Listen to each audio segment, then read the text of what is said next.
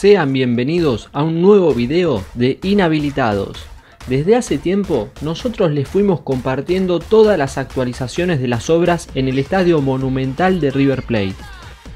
Por eso, esta vez no será la excepción y tenemos el agrado de contarles que a partir de la segunda quincena de marzo comenzará la etapa final de esta mega obra que ampliará la capacidad del icónico estadio a 81.000 espectadores y que en julio del 2024 lo convertirán en el más grande de Sudamérica, superando el aforo del Monumental de Lima con 80.093 espectadores y el Maracaná con 78.898 espectadores, que son los dos más grandes hasta hoy.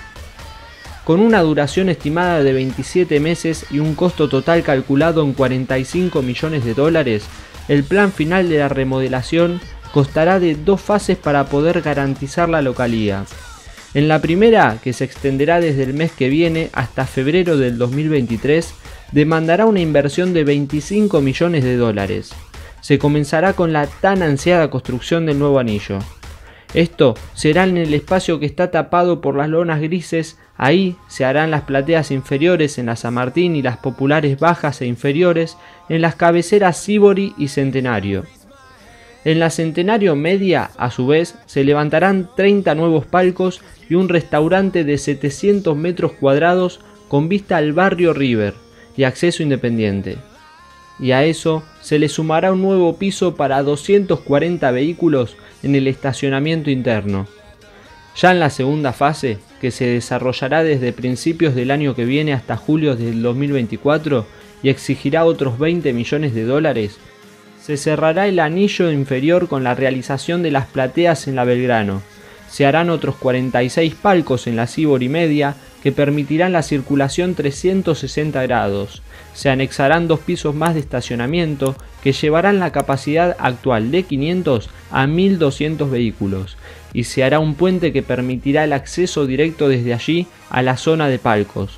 Dato no menor para el modelo de club el nuevo edificio del Instituto River Plate se trasladará al polo tecnológico que se levanta frente al estadio, en donde antes eran los terrenos del tiro federal. Con todo esto listo, el Monumental le agregará un 12,5% de asientos a los 72.054 lugares disponibles en la actualidad.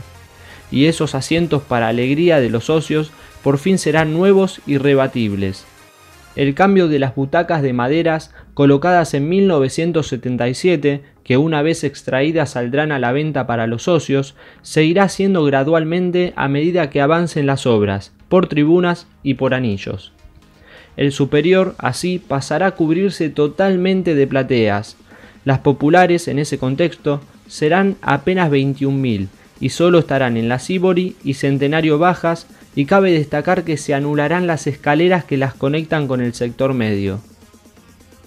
A la consultora española de Ingeniería y Arquitectura IDOM ya se le encomendaron los estudios de factibilidad de obras y el anteproyecto.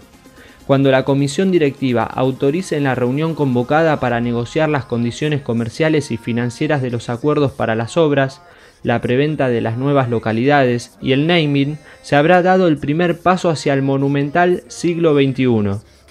El siguiente paso se producirá el 23 de febrero con la aprobación del masterplan en la Asamblea de Representantes de Socios, en la que el oficialismo cuenta con 100 de los 150 miembros.